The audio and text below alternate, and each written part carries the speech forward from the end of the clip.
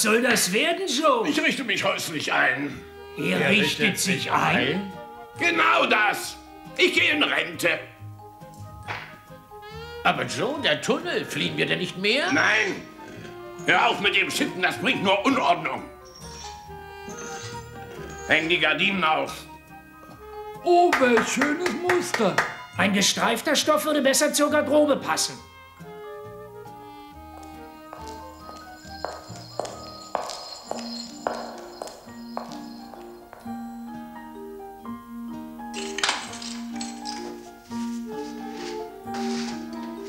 Macht euch fertig, Dawkins. Ihr werdet in ein Gefängnis an der mexikanischen Grenze verlegt. Da weigere ich mich entschieden. Und der Tunnel, den wir gegraben haben? Das ist ein Angriff auf unsere Freiheit. Wie ist denn die Küche da unten? Kann ich mal die Speisekarte sehen? Ein bisschen Tempo, meine Herren.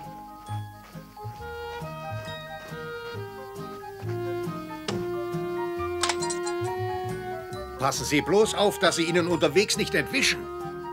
Das passiert nicht. Sie werden gut bewacht und Rantanplan wird uns begleiten.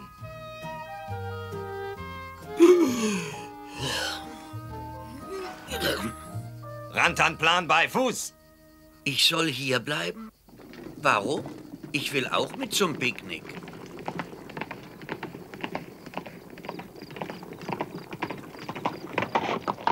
Halt! Hier am Ufer des Rio Grande ist ein guter Platz zum Übernachten. Dürfen wir aussteigen? Nicht zu machen. Ich bringe euch das Essen her.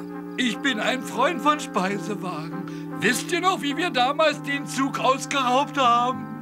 Ach, halt's Maul, Everett. Guten Appetit, Leute. Nicht so gierig, man weiß nicht die Hand, die einen füttert. Rantanplan, ich verlasse mich darauf, dass du laut gibst, wenn irgendwas los ist. Ja, schlaf auch gut. Diese Kutsche wird große Wirtsachen transportieren, Emilio. Sehen wir mal nach, Amigos. Machen wir einen Ausflug in die USA.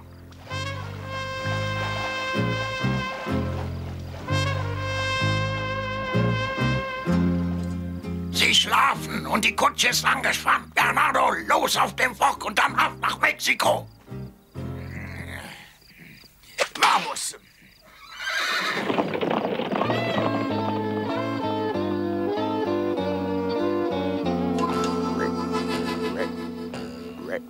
Haltet mal an, amigos. Prüfen wir die Ladung.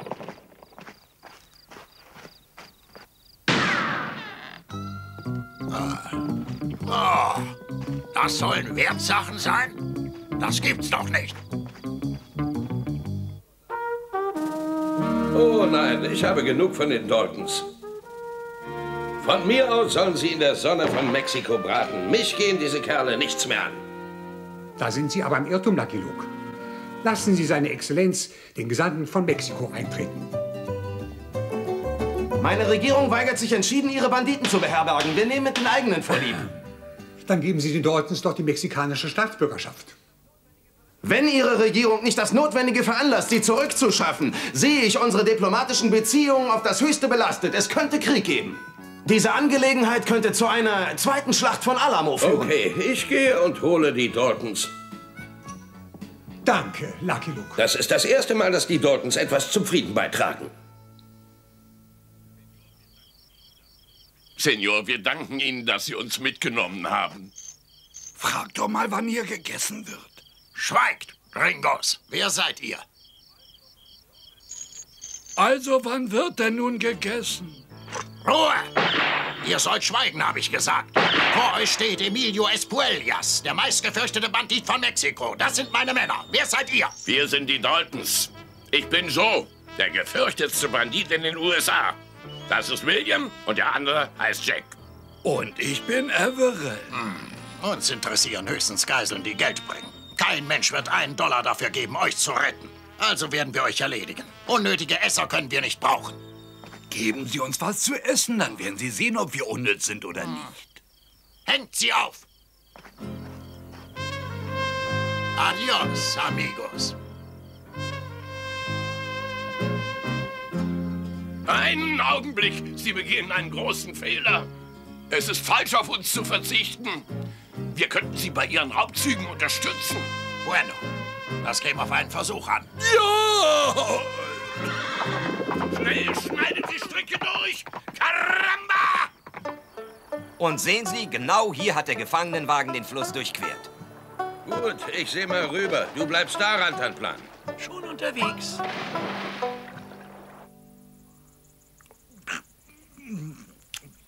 Ich mag exotische Küche. Wie nennt sich diese köstliche Kruste um die Frigoles? Man nennt sie Schale aus Terrakotta, amigo.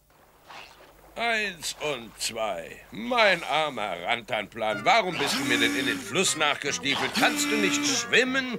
Caramba, ihr habt jetzt drei volle Stunden gegessen, gegessen und gegessen. Los, ich zeige euch jetzt die Gegend. Die Berge sind unsere Domäne. Da unten seht ihr das hübsche Städtchen Cochi Cochingo. Und da drüben das Anwesen von Don Doroteo Prieto. Von hier aus seht ihr genau, wer sich nähert. Wie dieser Gringo da unten mit seinem Pferd und seinem Hund. Lucky Luke, Lucky Luke, Lucky Luke, Lucky Luke, Lucky Luke, Lucky Luke. Oh. Ich habe ein Beruhigungsmittel, Companiero.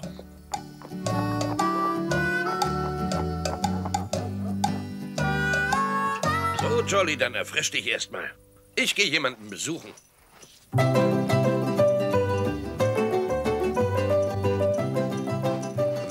Machen Sie keine Siesta. Nein, extra deswegen will ich ja zu unserem Doktor. Ich leide an Schlaflosigkeit. Aber ich muss warten, bis er ausgeschlafen hat.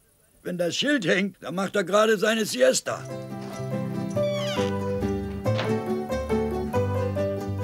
Nein, Senor Luke, nicht die geringste Spur von den Daltons. Na schön, ich bleibe jedenfalls in der Gegend. Kennen Sie hier ein Hotel? Nein, aber eine Cantina und dahin lade ich Sie jetzt auf einen Tequila ein.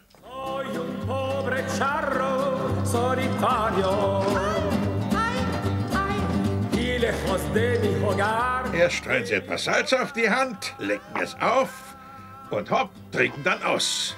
Salut. Ganz erfrischend, nicht wahr?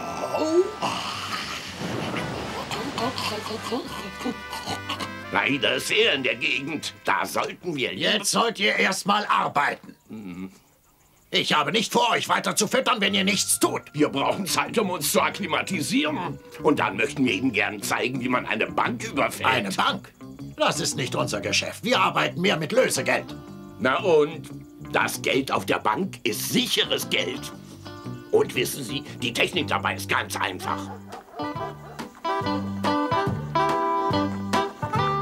Gut, wo ist die Bank? Da drüben, amigos. Also, nichts wie rein. Aber, aber wo sind die Schalter? Ist jemand da? Geht es um Hahnkampfwetten? Es geht um die Bank. Perico, eine Menge Leute für die Bank. Oh, ¿qué pasa? Öffne den Tresor. Schnell, Den Tresor? Welchen Tresor? indem du das Geld aufbewahrst. Das Geld? Ach so, das legen wir lieber in einen Schuhkarton, aber der ist leer. Ich habe auf einen Hahn gewettet. Karton, ein Hahn? Den haben wir gegessen mit Mollet. Mit Mollet? Si, amigo, das ist eine Sauce aus Kakao, Chili und... Jetzt ist nicht die Zeit für Kochrezepte. Ich will eine Bank knacken. Ich will einen Tresor sehen, einen dicken Schnollen. Der Gringo hat recht. Mach dich an die Arbeit oder du bekommst es mit mir zu tun, verstanden?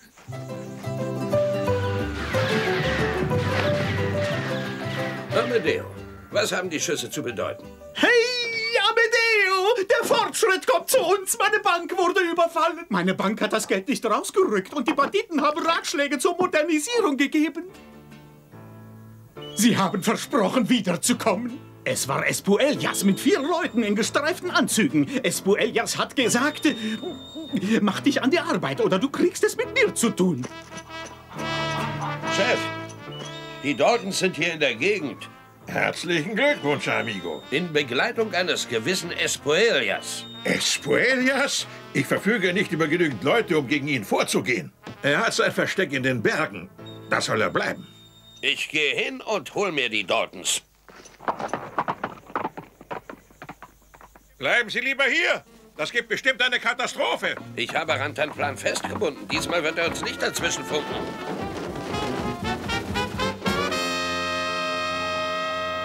Ihr habt mich nicht überzeugt. Meine alte Masche mit Entführungen und Lösegeld ist mir immer noch lieber. Hai un gringo che se passa por la montagna con un perro. Bernardo sagt gerade, ein Gringo streift in den Bergen herum. Ein Hund verfolgt ihn. Lucky Luke. Ihr könnt mitkommen. Ich werde euch zeigen, wie man richtig arbeitet. Wir schnappen uns den Gringo.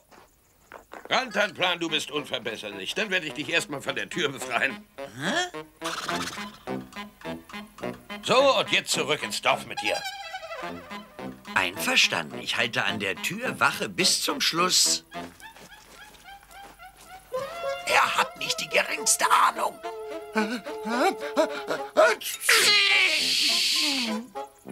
Gesundheit, Joe. Dankeschön, William. Danke, Jack. Seid ruhig.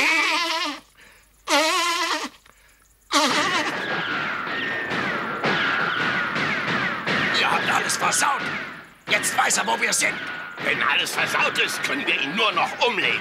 Bloß weg, Rantanplan, komm mit. Ja, ich bleibe bei der Tür, koste es, was es wolle. Ihr habt mir alles verdorben. Hm, ich frage mich, ob ihr das nicht absichtlich getan habt. Nein, das war nur ungeschickt. Der Gringo ist verschwunden, aber der Hund ist immer noch da. Dann werden wir ihn holen. Hunde haben ein sehr gutes Gedächtnis und ich möchte gerne wissen, ob er euch nicht zufällig kennt. Man muss ihn besänftigen, Bernardo. Bring ihm einen Knochen. Bueno. Jeder von euch wird jetzt den Hund zu sich rufen. Wenn er kommt und mit dem Schwanz wedelt, kennt er euch. Du fängst an, Amigo. Hierher. Lauter. Hierher. Das sind die Daltons, die kenne ich zur Genüge. Wenn ich meinen Knochen loslasse, klauen sie ihn mir. Komm her. Hierher. Bei Fußrantanplan. Du kennst ihn gut. Du rufst ihn beim Namen. Jag den Köter weg. Ich brauche Verstärkung, um die Daltons festzusetzen. Und Sie können sich dabei Espuelias kaufen. Ich habe Ihnen schon mal gesagt, dass ich dafür nicht genügend Leute habe. Seit Sie hier sind, gibt es keinen Frieden mehr in der Region. Ich muss Sie ersuchen, Tikochingo komischer zu verlassen. Einverstanden, aber ich bleibe hier in der Gegend.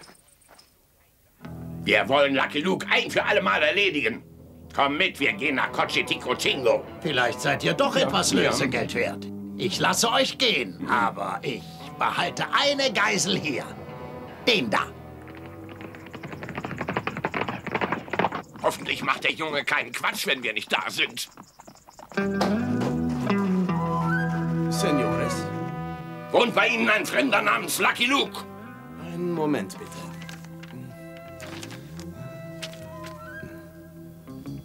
Er hat das Hotel heute verlassen. Sie können hier wohnen, wenn Sie wünschen. Und was jetzt? Reiten wir erstmal zu Espuelias. Ich traue Averill nicht. Ah, Amigos, wir haben einen kleinen Empfang für euch vorbereitet. Wir empfangen euch mit den Ehren, die Leuten eures Ranges zustehen.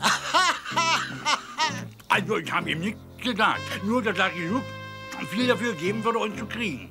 Sperrt sie ein!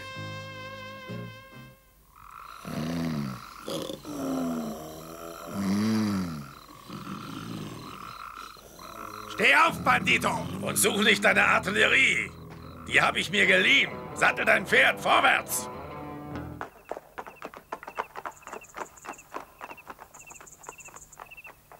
Warum weckt man mich mitten in der Nacht? Wer ist der Mann? Wir haben ihn auf der Weide angetroffen. Vielleicht gehört er zu den Männern von Espuelias. Ich bin kein Bandit, sondern ein Vertreter des Gesetzes. Und ich kann das beweisen. Na, dann sehen wir mal. Rodriguez, bring es her.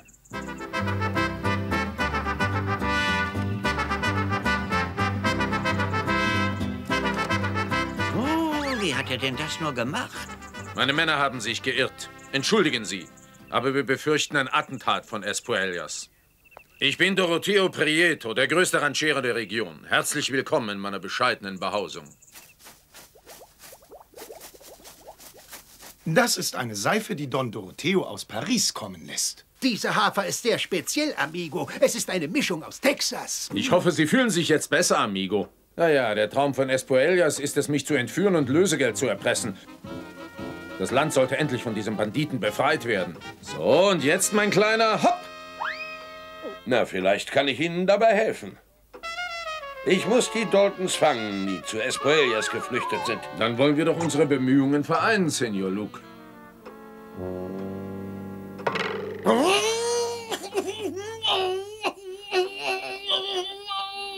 Ihr habt mich getäuscht, aber mich interessiert nur eins. Die Entführung von Don Doroteo. Wenn ihr einen Trick findet, wie wir ihn erwischen, dann schenke ich euch Leben und Freiheit. Das lässt sich machen. Keiner ist gerissener als wir. Blöd wie diese Daltons sind, glaube ich, dass ich sie in eine Falle locken kann. Und dann werden sie mich zu Espoellas bringen. Ja, das könnte gehen. Eine Fiesta. Eine Fiesta bei Sikia. Caramba, das wird den Chef interessieren. Hier, Chef. Das habe ich gefunden. Caramba, ein Fest bei Don Doroteo.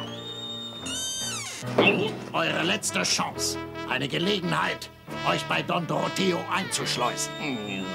Ihr verkleidet euch als Mariachi-Sänger. Und im richtigen Moment entführt ihr Don Doroteo.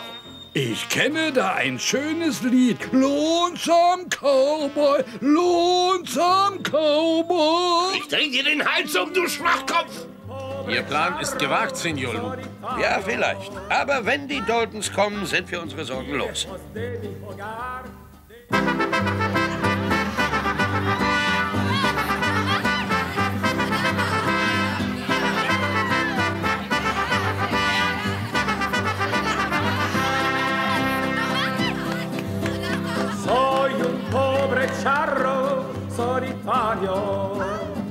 Ich bin beunruhigt, Senor Luke. Das klappt schon, Don Doroteo. Ich erscheine erst im richtigen Moment. Gehen Sie nur zu den Gästen. Ah, ihr seht großartig aus, Amigos. Aber ich möchte euch raten, so wenig wie möglich zu singen. Wir lassen die hier singen. Adios, amigos. Wir bringen euch euren Don Doroteo.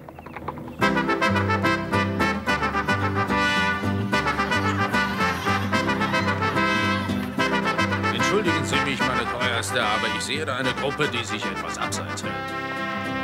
Macht uns die Freude eines kleinen Ständchens, meine Freunde. Ich bin Don Doroteo Prieto.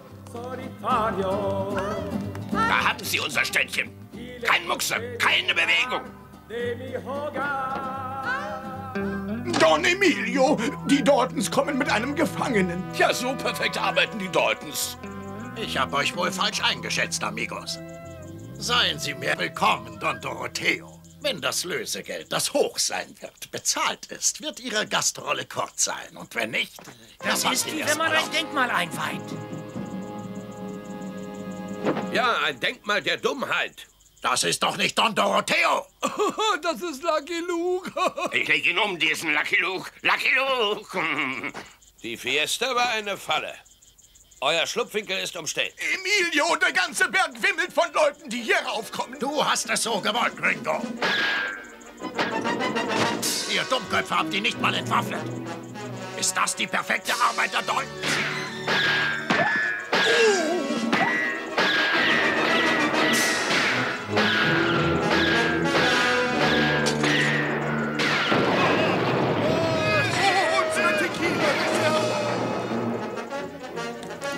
Ergebt euch, ihr Banditen, ihr seid umstellt. Deine Karriere ist beendet, Espoellas. Du wohnst jetzt im Gefängnis. Die Daltons. Ich fürchte, sie sind geflüchtet. Unsere Hunde werden die Fährte der Daltons finden. Man kann's versuchen. Ich lasse sie mal Witterung nehmen. Hm, Vier Männer, abgestufte Größen, Bärtchen, große Nasen. Ah, das riecht unappetitlich. Kein Fresschen, kein Interesschen. Das ist merkwürdig. Sie trennen sich. Ich werde Ihrem Hund folgen. Na, dann gehe ich mal ihrem nach. Sieh mal an, hier ist einer gestolpert. Der war ziemlich ordinär. Bravo, Rodriguez. Du bist auf der richtigen Spur.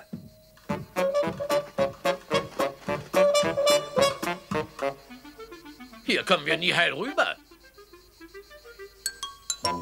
Jack, du steigst auf die Schulter von Errol. William, du auf die von Jack. Und von da aus komme ich auf.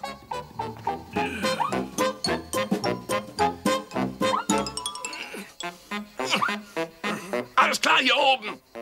Da unten auch? Klar schon, aber schlecht. Ich muss hier dringend weg. Nein, bleib da, bleib ja stehen. Ich kann aber nicht. Lucky Luke hat gesagt, ich soll hier weggehen. Nein! Nein! Nein!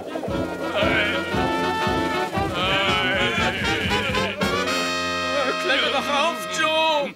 Dazu müsst ihr erst abspringen. Sehr gut, Jack. Auch gut, William.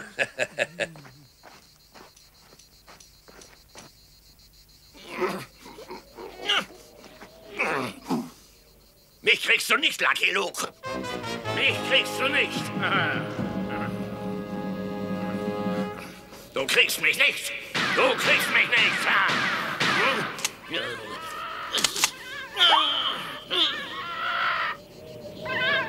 Auf Wiedersehen, Joe! Lucky Luke! Wart auf mich! Hilf mir hier runter! Adios, amigo Lucky Luke. Auf Wiedersehen! Auf Wiedersehen, Rodriguez. Rantanplan. Eins und zwei. Eins und zwei. Eins und zwei.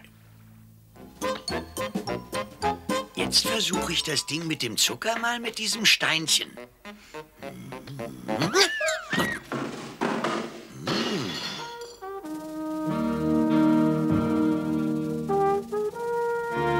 Seine Exzellenz, der Herr Gesandte von Mexiko. Meine Regierung verleiht diesen Orden an Lucky Luke als Dank für seine Verdienste um den Frieden. Aber ich kann Mr. Luke nirgends entdecken. There guys